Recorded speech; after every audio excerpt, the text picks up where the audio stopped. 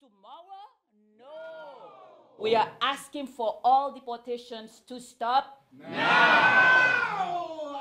I could have believed that a nation which State Department has put Haiti as a level four and has sent planes to remove its citizens from Haiti because the country is so dangerous.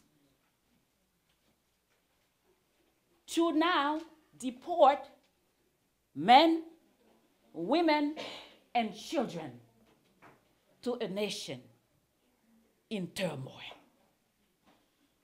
This decision by the Biden administration is repulsive, it is heartless, it is indefensible, and it is unconscionable, and I might add, it is even criminal. U.S. authorities reported 52 Haitians last Thursday on a flight that originated in Louisiana and made a stop in Miami, though no children among them. It was the first flight to take place since January, when such deportations were paused amid the renewed violence of a gang uprising and the airport in Port-au-Prince was closed.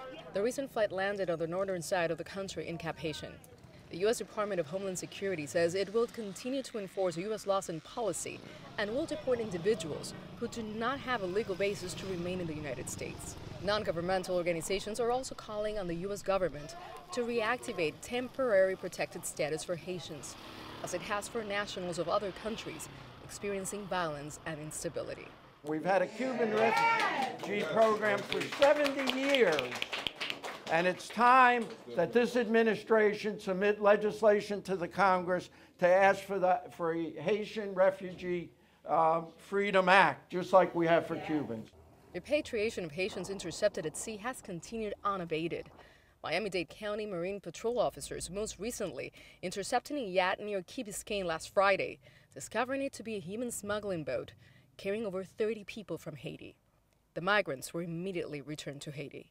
According to United Nations, more than 360,000 Haitians have been displaced amid the nation's chaos, with 5.5 million people in need of humanitarian aid. Nitza Soledad Perez, CGTN, Miami.